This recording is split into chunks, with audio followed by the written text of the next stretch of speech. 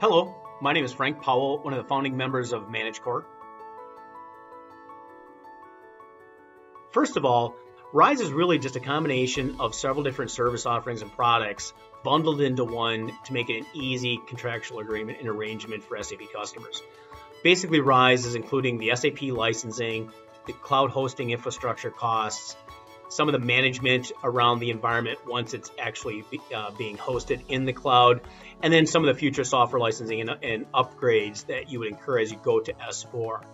So, moving your SAP footprint um, into the Rise platform is a great first step. It on, not only helps you achieve um, so innovation in the SAP platform itself, but it also can open up the door to do other innovative uh, projects for your for your company and for your business.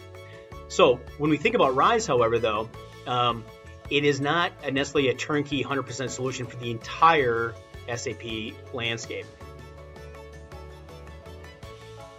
So a few of the reasons why um, I personally feel that Google Cloud is the best suited cloud to run your SAP workloads is again because of some very specific technologies that Google provides.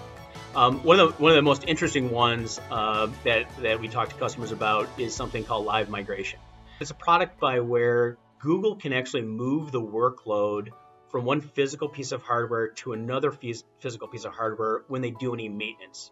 And when you think about production downtime and what the cost of production downtime is uh, for for any company, specifically those running SAP, it really limits those outages that are necessary.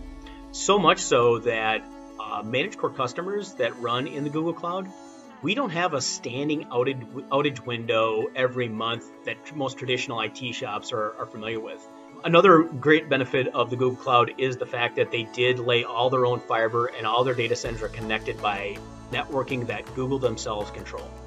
The real value comes to the applications and the services they can now provide because they do have all of their own networking around the globe connecting all these data centers.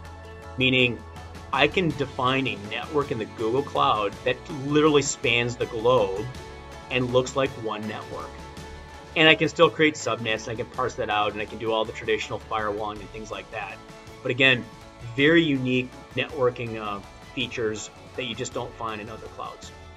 So to help customers migrate their SAP workloads to Google Cloud more effectively, ManageCore has created a migration factory, which is a suite of products and services to help customers migrate their SAP workloads to Google Cloud. I'm Frank Powell with ManageCore. Thank you again for taking the time today to listen.